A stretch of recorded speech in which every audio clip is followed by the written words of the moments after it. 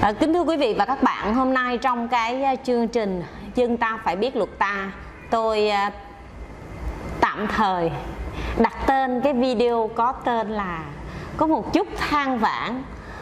Tòa ơi không tuyên không có tứ cạnh làm sao thi hành án đây? Thưa quý vị và các bạn, tòa án mà tuyên một cái à, bản án không có tứ cạnh thì à, không biết là như thế nào để mà thực hành bản án trong thực tế? Thưa quý vị và các bạn đây là một cái câu chuyện có thật mà tôi đã có trong cái quá trình hành nghề. À, thôi bây giờ tôi sẽ kể cho quý vị nghe và câu chuyện có thật đó. À, dĩ nhiên là trong cái quá trình à, à, nói thì mã hóa toàn bộ các thông tin. Thưa quý vị và các bạn cách đây vài năm thì một à, cái gia đình họ kiện đến tòa họ cho rằng họ chia thừa kế quyền sử dụng đất thì à, trong cái quá trình à, khởi kiện thì họ bảo rằng là ba mẹ họ có tổng cộng là năm anh chị em ruột. Thì trong năm chị em em ruột này thì à, chia thừa kế. À, bản án của tòa án nhân dân cấp sơ thẩm đã tuyên à, cho nguyên đơn à, cho người có quyền và nghĩa vụ liên quan mỗi người được một suất thừa kế. Tuy nhiên cái vấn đề là tòa vẫn tiến hành đo đạc. Quyền sử dụng đất vẫn có bản vẽ, vẫn định giá. Tuy nhiên, khi tuyên một cái bản án, tôi đặt giả sử là quyền sử dụng đất tổng cộng nó là 5.000 mét. Tòa án đã tuyên công nhận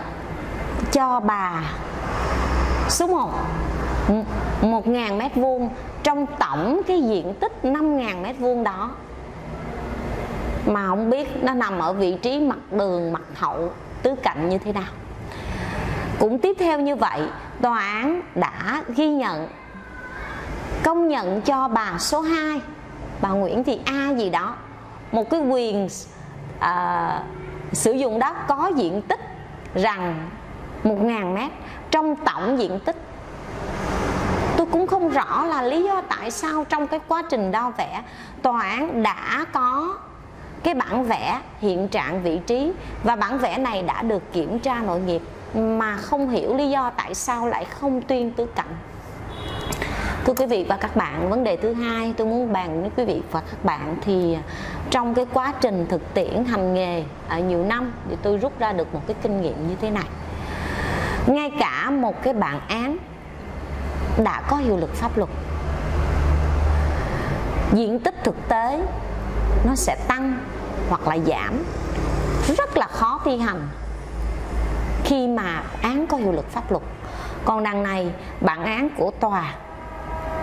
có diện tích đó tuy nhiên không xác định được diện tích, không xác định được tứ cạnh thì không biết khi bản án có hiệu lực pháp luật thì sẽ thực hiện trong thực tế như thế nào. Đó là một cái câu hỏi mà cũng đã là lời than của một luật sư trong một cái vụ kiện à, cho rằng là tòa án có một cái sự um, không chỉnh chu khi à, tuyên một cái bản án không có vị trí không có tứ cạnh à, trong à, thực tiễn hành nghề thì tôi à, à, không có lạ gì những trường hợp mà bản án có những bản án tuyên mà công nhận phần diện tích nhưng lại không có lối ra khó lắm quý vị và các bạn. Có những cái bản án tòa án tuyên tuy nhiên ví dụ như tuyên một cái phần diện tích là 1.000 mét à, tuy nhiên khi đo đạt lại thì nó chỉ còn có là 800 mét vuông gọi là diện tích đất thực tế. Thì à, nếu trong trường hợp cái à, người được thi hành án họ hiểu biết họ uh, cho rằng do cái việc à, sai lệch giữa hai bản đồ còn nếu trong trường hợp họ không đồng ý. Họ bảo rằng là bản án của tòa án tuyên à, tôi có diện tích là 1.000 mét. Hiện tại trong trường hợp này khi đo vẽ lại còn có 950 mét thì tôi buộc cái phía bên còn lại phải thanh toán phải à, nhiều cái ý kiến để mà thực hiện được cái bản án thưa quý vị và các bạn chắc có lẽ sẽ không phải à, à, than ngắn thở dài nhiều à, về cái bản án của cấp sơ thẩm à, tòa án nhân dân cấp um, quận huyện. Vì bản án cũng đã được um, à, xem xét lại bằng cách hủy trả về sơ thẩm để trong cái quá trình mà thu thập chứng cứ à, trong đó có việc đo vẽ trong đó có việc định giá à, trong đó có việc à,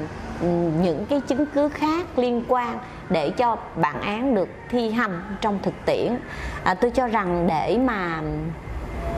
cái bản án à, thực hiện à, được thi hành án được thì rất cần thiết phải à, khi tuyên một cái bản án cho một à, người thì tòa án